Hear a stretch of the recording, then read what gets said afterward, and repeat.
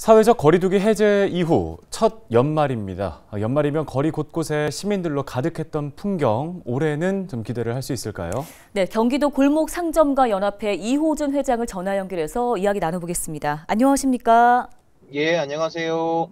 예, 어, 연말을 맞아 뭐 예전만큼은 아직 아니겠지만 어, 상점가를 찾는 시민들의 발길이 좀 늘었나요? 어떻습니까? 좀 조심스럽게 좀 기대를 많이 했었는데 어, 하반기부터 이제 삼고 현상이라고 해서 어, 고물가, 고금리, 고환율 그리고 거기에다가 이제 국제적으로 어, 러시아 우크라이나 전쟁 사태가 일어나면서 여러 가지 경제들이 지금 움츠러들고 있습니다.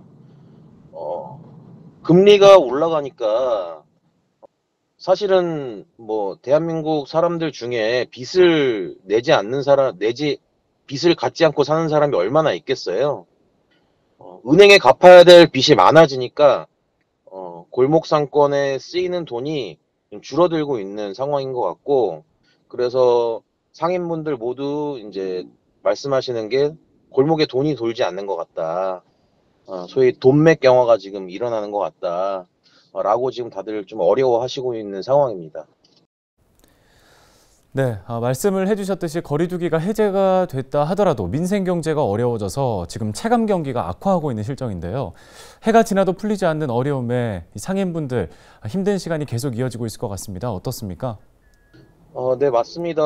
어, 사실은 연말 특수나 이제 이런 것들을 좀 많이 기대를 했는데 어, 그런 것들을 좀 보, 기대하기가 좀 힘들어지고 있는 상황이고요. 있는 손님마저 지금 잘 오, 찾아오지 않는 지금 상황이 지금 계속 일어나고 있습니다. 코로나 이전보다 지금 매출이 더 떨어지 장사가 안 되는 것 같다. 어, 매출이 더 떨어지는 것 같다라고 하, 말씀하시는 사장님들도 계시고, 어, 하여튼 경제 전반 자체가 어, 좋지 않다 보니 지금 골목 경제도 지금 어, 뭔가 순환이 제대로 되고 있지 않은 상황인 것 같습니다. 예, 골목 상권에 대한 대책 마련이 시급해 보입니다. 골목 상권 활성화를 위해 정부와 부천시가 어떤 방안들을 좀 우선적으로 마련을 해줬으면 하시는지요? 예, 일단은 가장 중요한 거는 어, 방안을 마련하기 위해서 어, 서로 머리를 맞대야 손과 머리를 맞대야 되지 않겠는가라는 생각이 들고요. 어, 이 어, 위기를 어떻게 헤쳐나갈 것인가에 대한 민관 거버넌스를 만들어서 함께 이거를 어떻게 헤쳐나가게 어쩌, 어떻게 헤쳐나갈 것인지에 대한 어, 좀 대책을 함께 세우는 게 일단은 먼저겠고요. 두 번째로는 지역 카페 활성화에 대해서 어떻게 어, 조금 더 지역 카페를 통한 경제 활성화를 어떻게 할 것인가에 대한 고민이 필요할 것 같습니다. 어, 지역 어,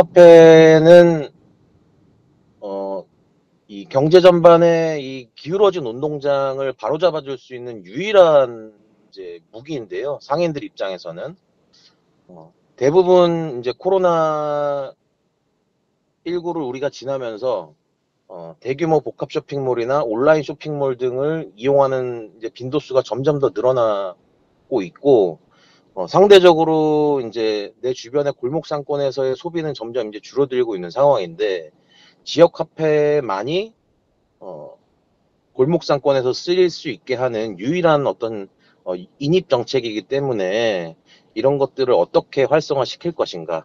그리고 또 한편으로는 이제 골목 경제 여러 이제 공동체들이 있는데 이 골목 경제 상인회들을 어떻게 어, 좀 더 발전시키게 할 것인가. 즉, 어, 우리 지역에 있는 어, 상인 거리를 뭐 문화 관광형이나 아니면은 뭐 특화거리나 이런 것들로 어, 지역 경제 어떤 어, 심볼로 어, 어떻게 만들 것이냐라고 하는 좀 중장기적인 관점으로 좀 골목 상권을 바라봐야 되지 않겠는가라는 생각이 듭니다. 네, 알겠습니다. 말씀 여기까지 들어보겠습니다. 경기도 골목 상점가 연합회 이호준 회장이었습니다.